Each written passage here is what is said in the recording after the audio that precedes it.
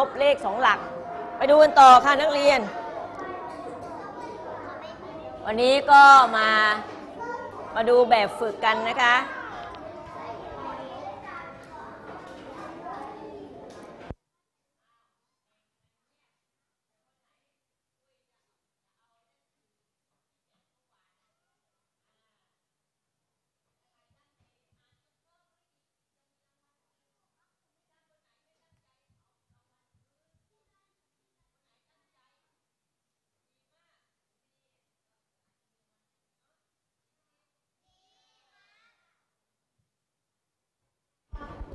ามาดูแบบฝึกกันเลยนะคะนักเรียน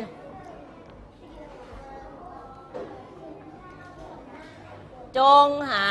ผลลบนะคะเอามาดูตัวอย่าง อ่านโจทย์พร้อมกันว่ายังไงคะ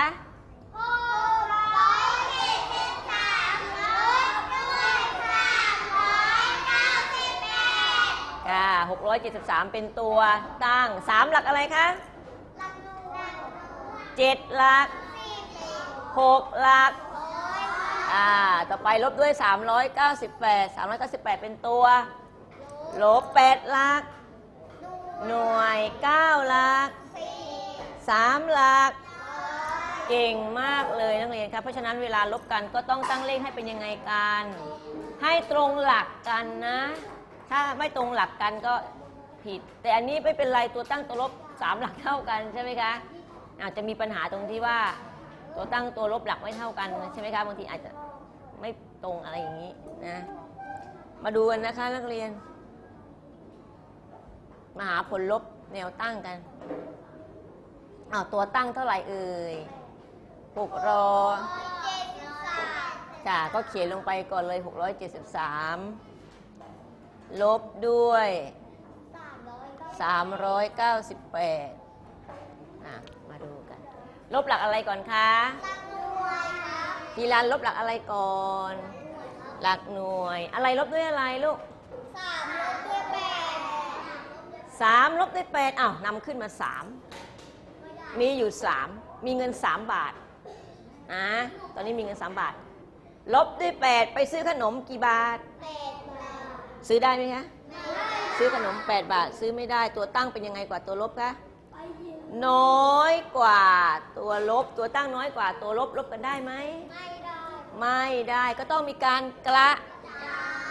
กระจายตัวตั้งหลักถัดไปทางด้านซ้ายก็คือหลักอะไร หลักสิบตัวตั้งมีอยู่เท่าไหร่เจ็ดอะไรเจ็ดสิบนะคะ ตัวตั้งในหลักสิบมีอยู่ 70 ก็กระจาย ไปให้ตัวตั้งหลักหน่วยซะ10เพราะฉะนั้นเหลือเท่าไหร่อ่า60นะคะ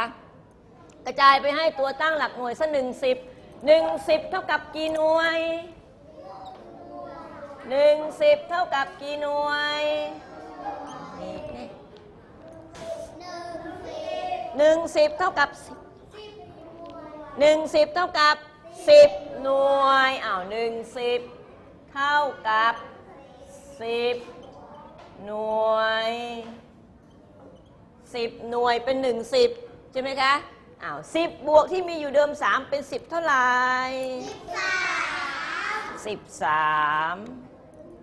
อ้าวทีนี้สิบสามลบด้วยแปดลบได้หรือยัง ได้แล้วนะคะ ตัวตั้งมากกว่าตัวลบหรือถ้าเท่ากับตัวลบก็ลบกันได้ใช่ไหมคะ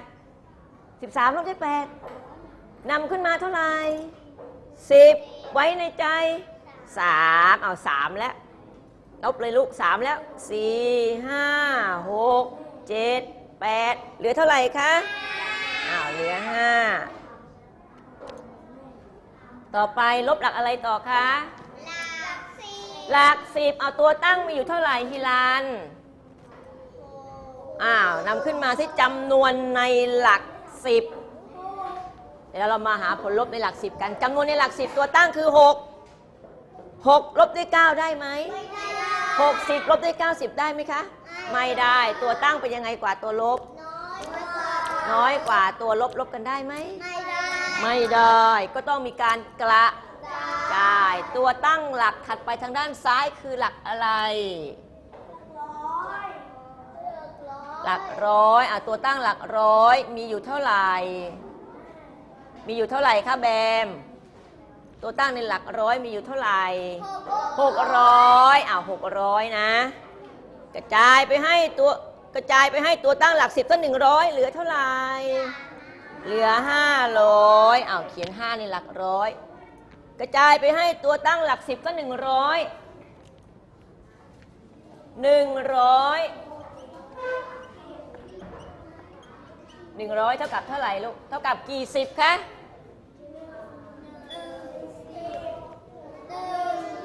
สิบหนึ่งร้อยก็เท่ากับสิบสิบใช่ไหมคะหนึ่งร้อยเท่ากับสิบสิบอ่าจำง่ายๆว่าสิบละ10ไปบวกกับเดิมที่มีอยู่6เป็น10เท่าไหร่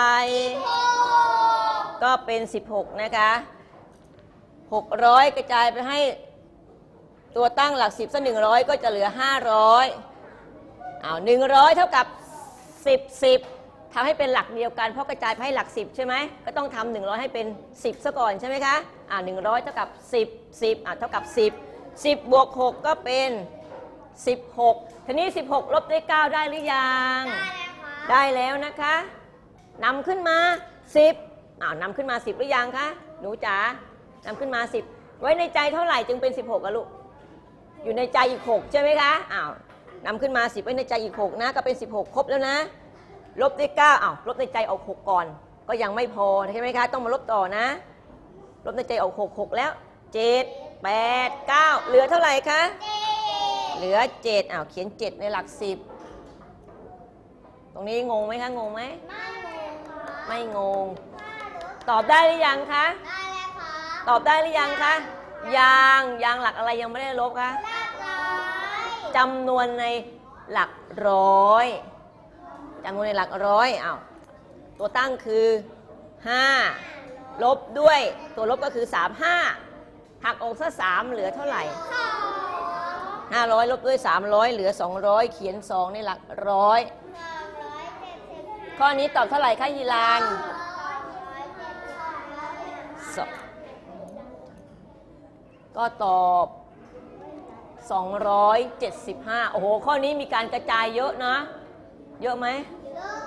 หลักอะไรไปหลักอะไรบ้างคะหลักสิบหลักสิบไปหลักร้อย แล้วก็หลักอะไรอีก หลักร้อยไปหลักสิบอะหลักร้อยไปหลักสิบหลักสิบไปหลักหน่วยขอโทษค่ะใช่ไหมอ่าหลักร้อยไปหลักสิบหลักสิบไปหลักหน่วยอ้าวนะคะ ก็ตอบ 275 ใช่ไหมคะ พอจะได้ไหมคะ พอจะได้ไหมตั้งตัวอย่างแล้วได้แล้วเอาอยากฝึกทำเยอะๆไหมคะ อ้าวมาก็ต้องทำเยอะๆ มาดู ก่อนจะทำมาสรุปกันก่อน เดี๋ยวอ่านให้ชัดๆเลย ใครสรุปได้แล้วยกมือขึ้นอะเดี๋ยวมาดูกัน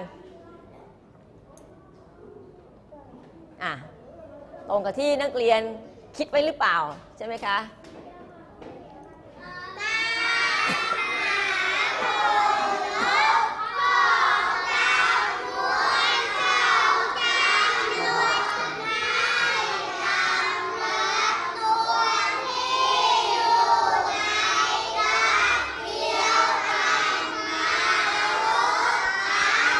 เก่งมากค่ะ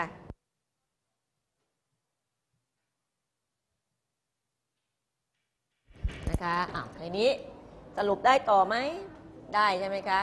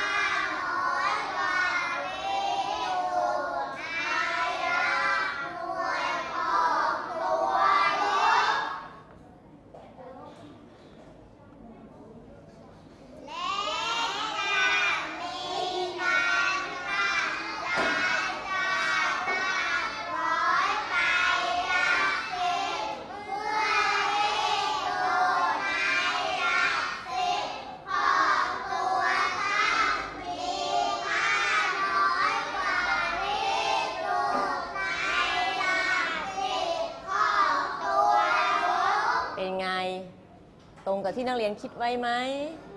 ตรงไหมคะ ยากไหม อาจจะไม่ได้ว่าถ้าตัวตั้งน้อยกว่าตัวลบลบกันได้ไหมคะ ไม่ได้ ก็ต้องมีการกระจายตัวตั้งหลักถัดไปทางด้านซ้ายมาให้ใช่ไหมคะเอามาเริ่มทำกันดีไหม ข้อที่หนึ่งอ่านจทย์พร้อมกันค่ะ